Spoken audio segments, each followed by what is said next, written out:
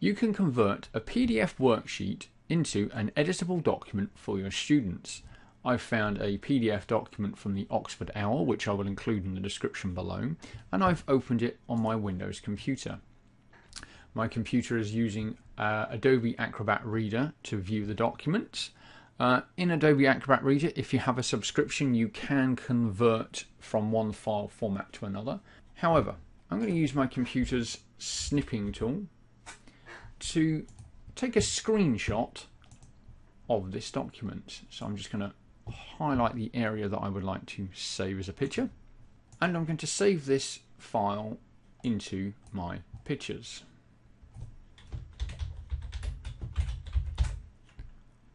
and select save. I'm now going to close that down and I'm going to open up a new Google Slides.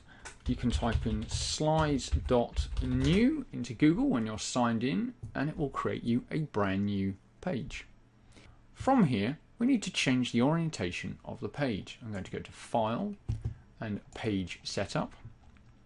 By default it will be on widescreen. I'm going to select Custom and we're going to have 21 centimeters by 29 and I'm going to select apply this one I'll turn the page into a portrait page I'm going to get rid of these boxes I'm just going to click on the blue line and press the delete key now we've taken our image and we've saved it now I'm not going to import this as a, an, an image I'm going to go to backgrounds and I'm going to choose the image I'm going to browse my computer to upload our image. Here's our document and I'm going to select open.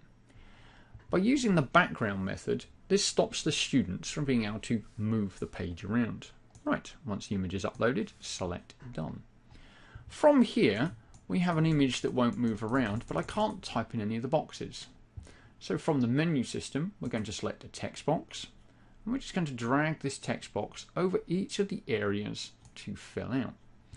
Now when I click off of here, the students won't see that there is a text box there. So you could write in type here, for example. Now I've got multiple boxes, so on the keyboard I can press the control key and the letter D and it will duplicate that text box over and over again, including the text.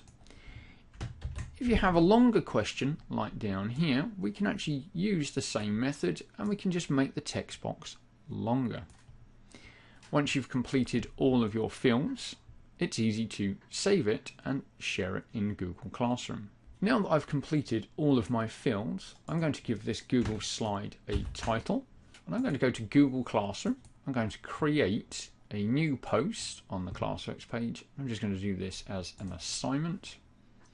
I'm going to give it a title. And I'm going to select add from down here and it's already saved in Google Drive so I'm going to add the file from Google Drive